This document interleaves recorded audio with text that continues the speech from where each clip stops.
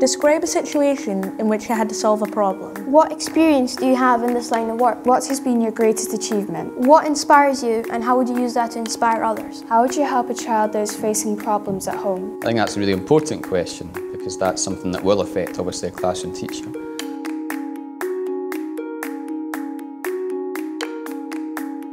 Would you like to be our teacher?